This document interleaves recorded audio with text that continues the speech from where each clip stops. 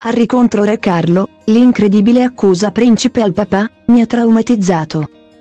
Durante un'intervista con l'esperto di traumi Gabor Mate, il principe Harry ha parlato dell'importanza degli abbracci e di come la mancanza di contatto fisico nella sua infanzia sia stata un errore. Harry ha dichiarato che se non avesse abbracciato i suoi figli, Archie e Lilibet, avrebbe avuto un impatto negativo sulla loro crescita, simile a quello che ha sperimentato lui.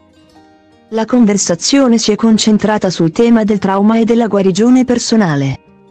Ed è stata organizzata per promuovere il libro di memorie di Harry, Spare.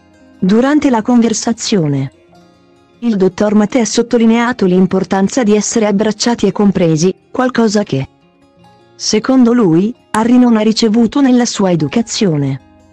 Harry ha parlato anche della sua relazione con Meghan Markle e di come lei gli abbia dato la forza di superare il trauma. Il duca di Sussex ha anche parlato della sua volontà di ricostruire il rapporto con suo padre e suo fratello.